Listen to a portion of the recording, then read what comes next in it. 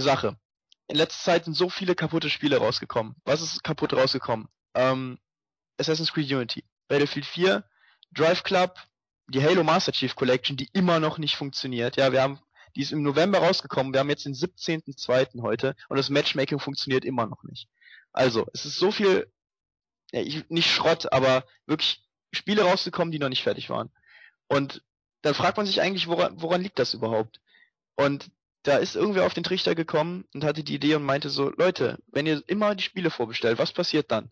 Dann kommt der Publisher zu den Entwicklern und sagt, Leute, wir haben hier mega viele Vorbestellungen, wir müssen das Spiel an dem, äh, an dem Datum rausbringen, wo wir es angekündigt haben. Dann sagt der Entwickler, ja, äh, Sir, Chef, es ist aber noch nicht fertig, wir haben ja noch irgendwie Fehler und keine Ahnung. Dann sagt der Publisher, ja gut, aber ähm, wenn wir es jetzt verschieben, dann verlieren wir unglaublich viel Geld und haben den ganzen Aufwand. Dann müssen wir nämlich die ganzen Leute, die vorbestellt haben, die werden dann müssen wir wieder stornieren und die werden abbestellen und wir verlieren sehr viel Geld und wir verlieren ähm, vor allem haben wir den Aufwand dann, weil die sich dann darum kümmern müssen.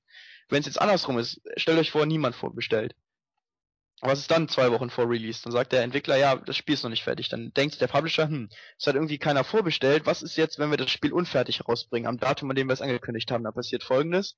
Die, die, da wird eine Review rauskommen, Day One oder am zweiten Tag oder was auch immer und wird sagen, ja, hier, das Spiel ist äh, überhaupt nicht fertig. Und dann werden sich die Leute zweimal überlegen, ob, ob sie sich das kaufen wollen oder ob sie einfach warten wollen. Und dann macht der Entwickler Verlust. Und dann sagt der Entwickler lieber, okay, dann verschiebe ich das Spiel, aber dann bringen wir es fertig raus und dann kaufen es die Leute auch. Und das ist der Grund, warum ich keine Spiele mehr vorbestelle. Und äh, vielleicht habe ich in dem einen oder anderen auch diese Idee wecken können. Ich hoffe es. Stellt, bestellt euch das Spiel nicht vor, kauft es einfach am ersten Tag, wenn ihr es unbedingt haben wollt, kauft euch am ersten Tag, aber es geht darum, halt, dass nicht mehr so viel vorbestellt wird und dann vielleicht auch hoffentlich die Spiele wieder fertig rauskommen. Wobei bei Hardline wirklich, äh, ich bin sehr zuversichtlich, nach dem, was ich in der Beta gesehen habe. So, das war's dann auch von meiner Seite dazu. Das, das Schlusswort zum Sonntag. Was du am Sonntag verloren hast, ist leider erst am Dienstag. Ich habe mich am Sonntag gefreut, dass es am Sonntag war und jetzt ist es Dienstag, aber hey. Ja. Okay. Das war das Schlusswort von Max. Äh, ich kann dazu noch sagen, ich finde, vorbestellen kann man ein bisschen vergleichen wie mit äh, investieren von Aktionären. Ähm, man weiß nicht, was man bekommt und am Ende kann man Crap haben und man kann Scheiße investiert haben. Ja, aber immerhin hat man fünf Gold Battle Packs, ja. ja. Immerhin hat man fünf Gold Battle Packs und wahrscheinlich die besten drei OP-Waffen, die es in dem Spiel gibt. ACGR. Im, Im Competitive, aber gut. Ja, genau. Aber für Public hat man dann äh, Pay to Win. Ja, aber das kann ich auch mit dem 16. Ha. Ja. Also wer wer es noch nicht weiß, fürs Vorbestellen oder für die Deluxe Edition bekommt man halt fünf Battle Packs, glaube ich, hast du schon richtig gesagt, und drei Waffen. Ja.